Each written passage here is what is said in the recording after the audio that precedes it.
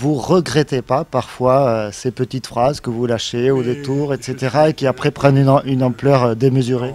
Je suis, Non, pas du tout. Je suis désolé, ce n'est pas des petites phrases, c'est une formule qui existe en français depuis le 19e siècle. On dit, on dit il n'a pas la tête très catholique ou il n'a pas la tête très orthodoxe. On dit filer à l'anglaise, on dit il a une tête de turc. Alors si on dit à quelqu'un c'est une tête de turc, on insulte les Turcs. Voilà le genre de choses qu'ils font à Paris. C'est-à-dire ils font des, amalgames complètement idiots. Euh, moi, s'il y a un homme qui a défendu Israël et les Juifs depuis toujours, c'est moi.